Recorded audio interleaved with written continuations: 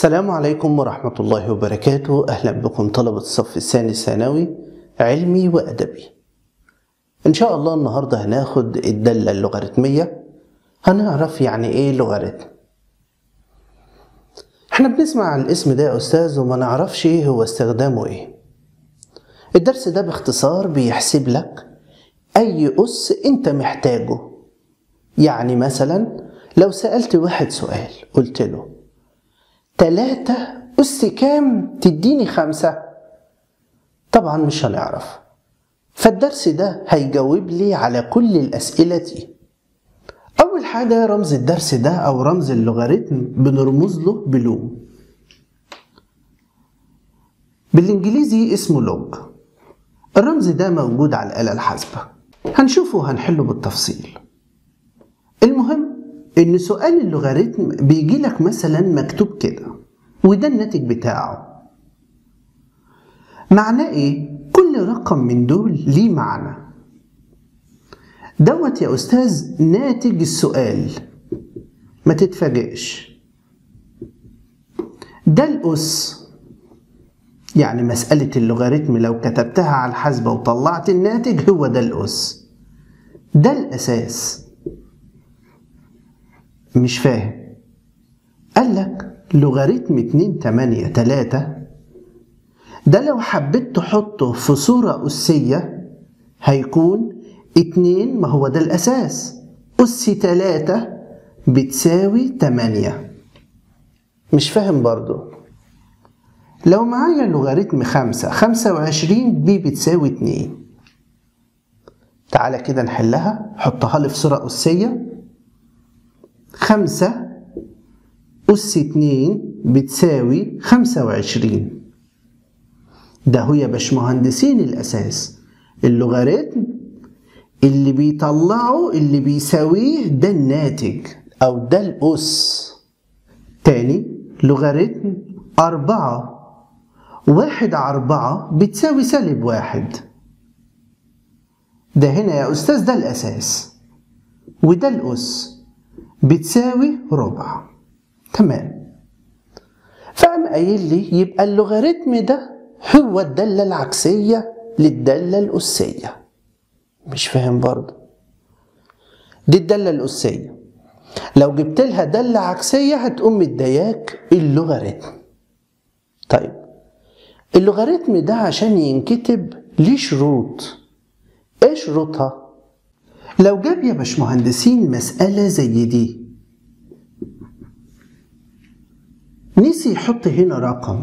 هو منسيش هم اتفقوا إن ده اسمه لوغاريتم معتاد. يعني إيه لوغاريتم معتاد؟ اللوغاريتم المعتاد ده بيبقى الأساس هنا كده عشرة. وهم اتفقوا إنه مش هيكتبوا العشرة دي. يكتبوها لوغاريتم ألف على طول. يبقى اللوغاريتم اللي من غير أساس أبقى عارف إن الأساس ده بيساوي عشرة. يعني تاني أنا لو كتبت لوغاريتم نقط مية بيساوي اتنين. يبقى أنا عارف إن ده معناه ده الأساس أهو. عشرة أس اتنين بتساوي مية. متفقين؟ إن ده الناتج؟ هنا الأساس ده الأس. لأن اللوغاريتم بيحسب اس يبقى أول ملحوظة أو أول معلومة أعرفها إن اللوغاريتم اللي من غير رقم تحت اسمه لوغاريتم معتاد. فعلشان كده هتلاقي في زرارين اتنين على الآلة الحاسبة. زرار مكتوب عليه كده وزرار كده. الزرار ده عملوه للوغاريتم المعتاد اللي هو أساسه عشرة. هنا اللوغاريتم اللي أساسه أي حاجة. الملحوظة التانية. بيقول يا باشمهندسين الأساس ده لو هو اسمه ألف مثلا لازم يكون عدد ينتمي للأعداد الحقيقية الموجبة ما عدا الواحد يعني نص ربع تلت خمس اتنين أربعة ستة أي عدد ما عدا الصفر والواحد. يعني كل الأرقام اللي بالموجب ما عدا الواحد. ليه يا أستاذ؟ لو أنا كتبت يا شباب لوغاريتم سالب اتنين تمانية. طلع لي الناتج دي كده. فأنت قمت قايل إن هسمي دي سي. يبقى تمانية بتساوي سالب اتنين أس س تمانية دي كام أس كام؟ تمانية اتنين أس تلاتة طيب هل الأساسات متساوية عشان تبقى الأسس متساوية؟ لا فبالتالي يا أستاذ ما ينفعش أجيب لوغاريتم أساسه الرقم اللي تحت ده سالب أو صفر أو واحد طب ليه الواحد يا أستاذ؟ لو أنا قلت لوغاريتم واحد وهنا تمانية هنساويها بالسي لو أنا عايز أجيب القيمة. يبقى تمانية بتساوي واحد أس س التمانية اللي هي اتنين أس تلاتة. هل الواحد أس أي حاجة هيديني اتنين أس تلاتة؟ لأ كلام مش منطقي. يبقى دي مش نافعة. طب ليه الصفر يا أستاذ كمان لأ؟ لو أنا حطيت لوغاريتم صفر تمانية هساويها بالسين. هل التمانية بتساوي صفر أس س؟ برضو ما تنفعش فعلشان كده قالك لازم لازم لازم لازم الأساس ده يكون عدد بالموجب وما يكونش صفر ولا يكون واحد ما ينفعش أحسب لوغاريتم وفيه هنا سالب إزاي يا أستاذ؟ يعني أنا مثلا لو قمت حاطط ده بسين هيبقى سالب خمسة بيساوي خمسة أس س طب دي أس واحد. هل الأساسات متساوية عشان الأسس متساوية؟ لا. يبقى هنا في ثلاث ملحوظات نتكلم فيهم تاني. الملحوظة بتقول لو أنا جبت لك لوغاريتم كده يبقى أنت عارف إن الأساس اللي هنا عشرة. لو ما كتبتش حاجة تحت يبقى الأساس اللي هنا كام؟ عشرة. والعشرة دي ما بتنكتبش. لازم يا أستاذ يكون الرقم اللي تحت عدد موجب. يكون أي عدد ما عدا الواحد أو الصفر. ما ينفعش يكون سالب. يبقى أربعة بتساوي نص أس سالب اتنين. الناتج اللي هنا يبقى سالب عادي مفيش أي مشاكل. الأس السالب بيقلب هتبقى اتنين أس اتنين اللي هي بأربعة ما ينفعش يا أستاذ لوغاريتم يكون هنا سالب لازم يكون موجب. لو جينا نحل المسألة دي تتحل عادي. تسعة بتساوي تلاتة أس سالب اتنين اللي هي بواحد على تلاتة أس اتنين اللي هي بتساوي تسعة. نبدأ بقى يا باشمهندسين نشوف أسئلة عن إيجاد قيمة للوغاريتم. عشان تجيب قيمة لوغاريتم ساويه بمجهول وليكن إن إحنا هنقول إن هو بيساوي س حوله لمسألة أسية. 16 بتساوي 2 أس س ال 16 دي كام أس كام؟ 16 يا أستاذ 2 أس 4 بتساوي 2 أس س بما إن الأساس بيساوي الأساس يبقى الأس بيساوي الأس. إذا س بتساوي 4 يبقى قيمة اللوغاريتم ده أربعة. ممكن تتأكد بالآلة الحاسبة جبناها. لوغاريتم الأساس اتنين ستاشر بتساوي أربعة. السؤال اللي بعده. ده اسمه يا أستاذ لوغاريتم معتاد. ليه لوغاريتم معتاد؟ علشان يا أستاذ مفيش أساس ليه يبقى الأساس ده عشرة. هقوم مساويه بسين برضه. هنا في عشرة نرفعه أسية يبقى عشرة أس س واحد على مية ألف. يبقى عشرة أس س بتساوي عشرة أس سالب خمسة. الناس اللي معترضة على مئة ألف إحنا بالعلامة أهي بنعد الأرقام. واحد اتنين تلاتة أربعة خمسة. يبقى في خمس تصفار في المقام. يا أستاذ ده ده واحد بيتعد برضه كأنه رقم. يعني عشرة أس خمسة في المقام بتطلع من تحت لفوق بنغير إشارة الأس. بما إن الأساس زي الأساس يبقى الأس بيساوي الأس. يبقى اللوغاريتم ده قيمته بسالب خمسة. السؤال اللي بعده. لوغاريتم 2 جتا 45 بيتحل إزاي؟ هناخده برضو يا أستاذ نساويه بسي. جتا 45 بتساوي 2 أس س جتا 45 ده دي واحد على جذر 2 بتساوي 2 أس س انت فاكر ان الجذر التربيعي دي قيمته أس نص؟ تمام هيطلع من تحت لفوق يبقى 2 أس سالب نص بيساوي 2 أس س الأساس زي الأساس يبقى الأس بيساوي الأس دي يا أستاذ أسئلة بالنسبة لو جاب لي اللوغاريتم وعاوز قيمته طب يا أستاذ لو حط لي المجهول هنا أو هنا نتصرف إزاي؟ نجهز بقى يا شباب عشان هنتعمق في الأسئلة شوية. هنحل يا أستاذ الأسئلة دي إزاي؟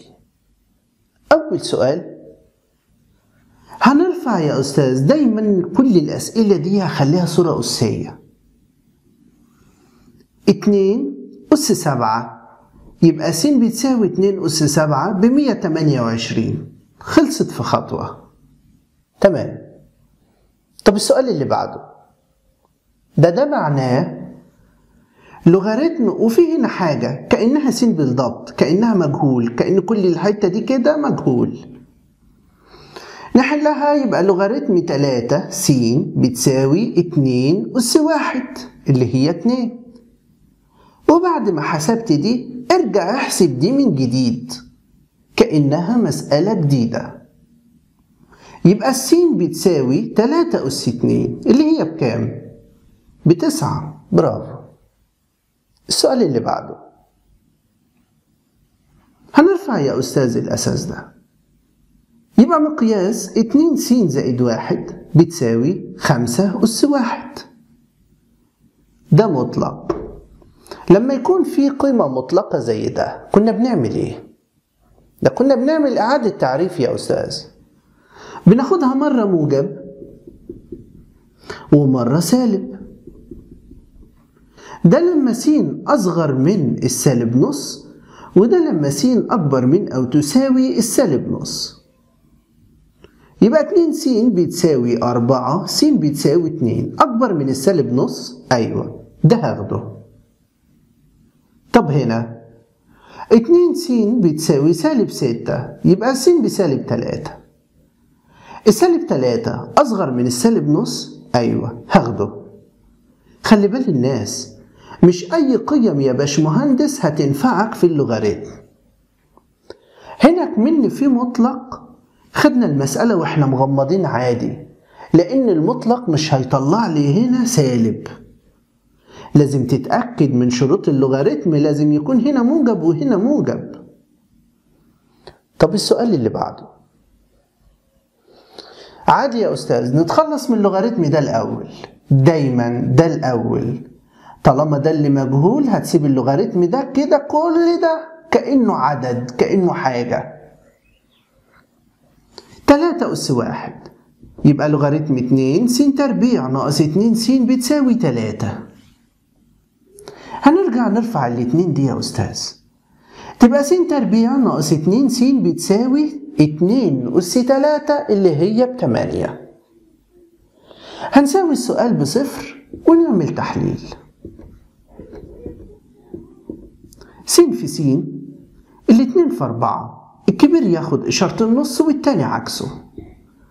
ومنها السين بسالب اتنين منها السين بموجب أربعة.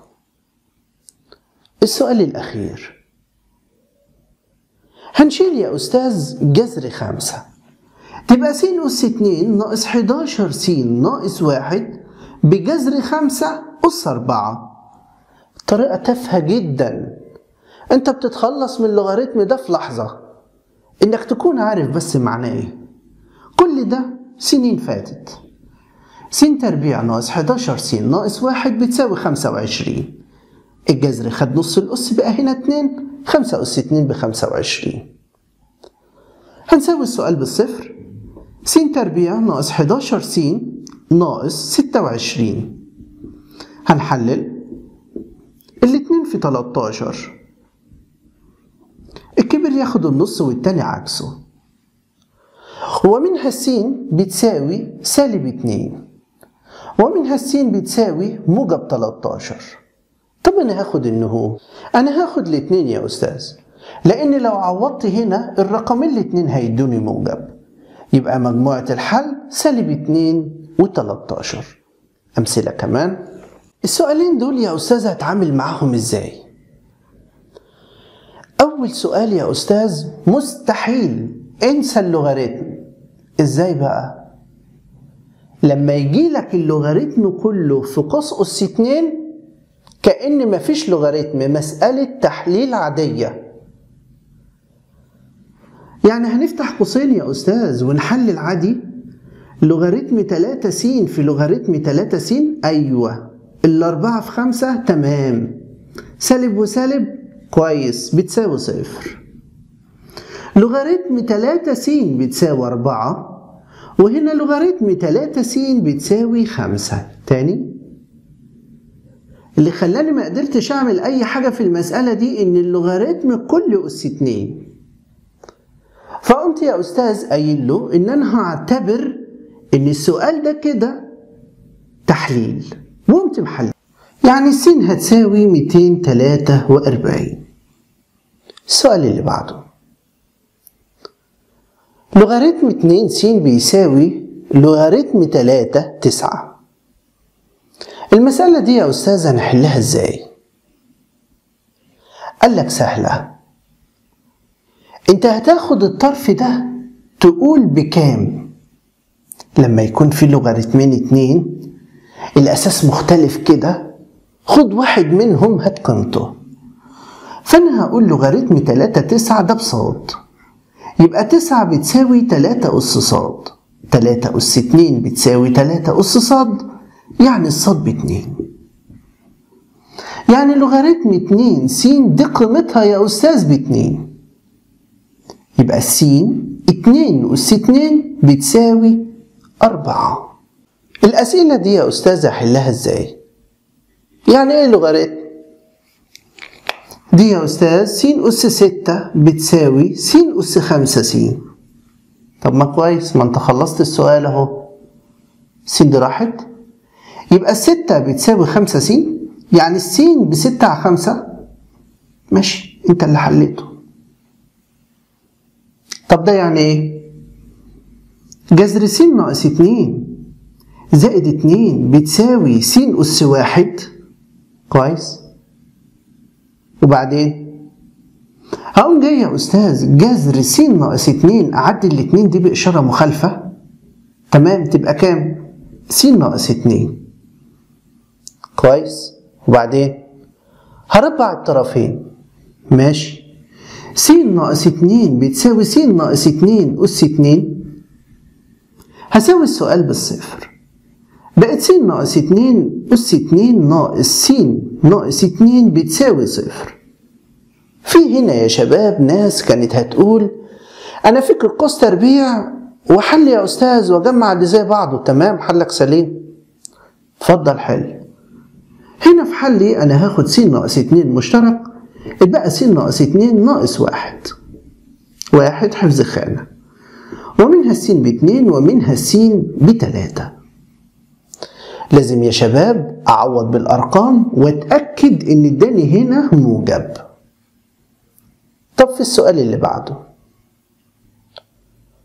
المسألة دي من الأسئلة المهمة جدا في الدرس ده. مهمة جدا جدا جدا كمان. بناخد يا شباب كل واحدة من دول نساويها بثابت. طب إحنا عملنا كده ليه؟ شوف الأساسات مش زي بعضها. طب لو الأساسات زي بعضها برضو يا أستاذ أنت ما ادتنيش مسألة زي دي. في خواص اللوغاريتمات هتاخدها بطريقة أسهل وأبسط. المهم خلينا في درسنا.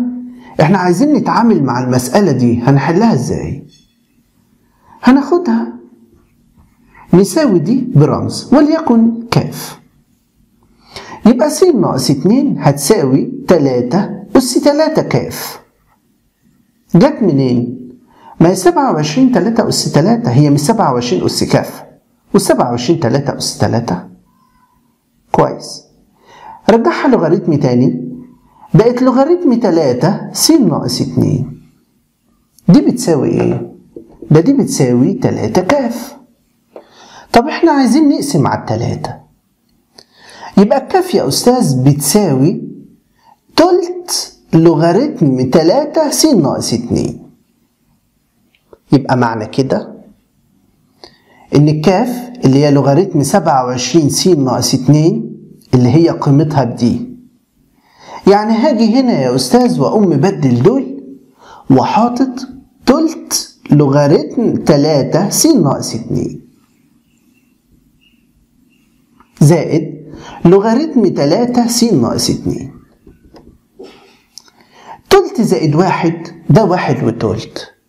واحد وتلت بعد رفع الكسر يعني واحد وتلت. لوغاريتم 3 س ناقص 2 بتساوي 4 واحد في 3 بتلاتة واحد أربعة تلاتة. لو عملنا وسطين في طرفين يبقى هنا في تلاتة على أربعة. الأربعة دي راحت.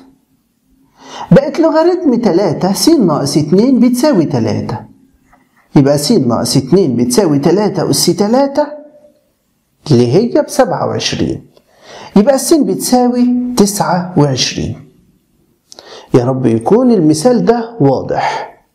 في ناس بتحله بطرق تانية. بياخدوا الصغير هو اللي يساووه وفي ناس بتاخد ده تساويه بمجهول وده تساويه بمجهول ويجيبوا العلاقة ما بين المجهولين. رسم الدالة اللوغاريتمية هنتكلم فيها في فيديو تاني. والسلام عليكم ورحمة الله وبركاته.